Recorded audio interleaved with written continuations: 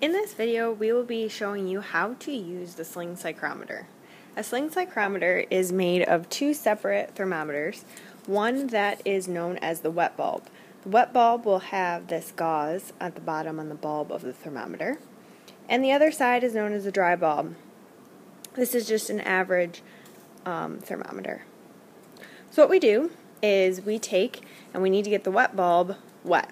So this gauze section right here, we take and we dip into some water. So if we bring some water over here, you don't have to get it too wet. Just want to dip it in there. So it's a little bit wet.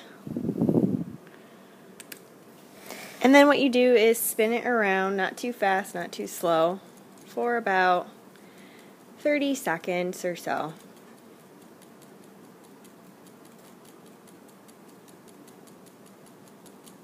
Notice how I'm not spinning it too fast, but I'm not spinning it too slow.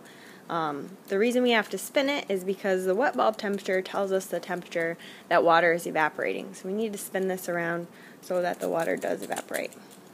Okay, so then we take our reading. So this is my wet bulb. Now I want to get my temperature. If I read here, this is in Celsius. So this would be about, looks like it's above the 12 there, but it's about 12 degrees Celsius. So I'm going to record this on my board. So our wet bulb temperature is 12 degrees Celsius. And my dry bulb temperature, the thermometer that doesn't have um, the wet gauze on it, is in between um, 16 and 18 there, so we'll go with 17 degrees Celsius. Okay, so this sling psychrometer gave us the wet bulb temperature and the dry bulb temperature. In order to use it to find relative humidity and dew point, we have to use these temperatures and consult our reference table. So first let's look at our relative humidity. Our relative humidity, we need to know our dry bulb temperature and the difference between wet and dry bulb. Difference between wet and dry bulb is known as the wet bulb or yep, the wet bulb depression, okay? So what we need to do is we need to subtract these two. And when I subtract 17 and 12, I get 5 degrees. So my wet bulb depression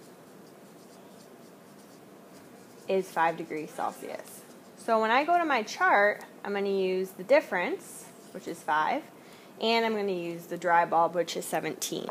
So I go to my chart, and if you notice, 17 is not on here, so we have to go in between 16 and 18 difference is 5.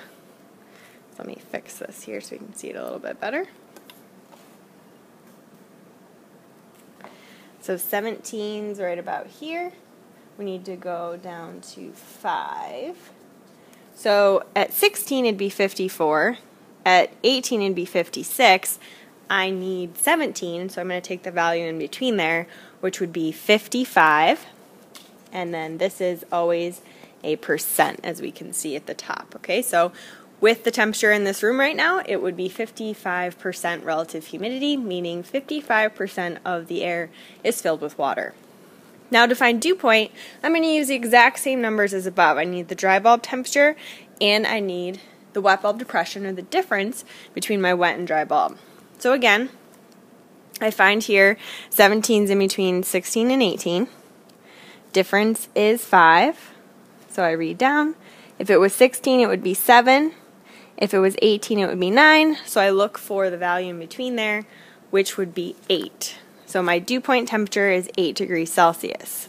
So my regular temperature in this room is 17 degrees Celsius. That's my regular air temperature for my dry bulb. My dew point is 8. Remember, if these temperatures were equal, if we were outside, um, that would mean our air would be filled with water. But for right now, humidity is pretty low. It's about 55%, so the water is uh, the air is not filled too much with water. So, using our sling psychrometer, we can figure out wet bulb and dry bulb temperature, and from that, we can determine the relative humidity and dew point.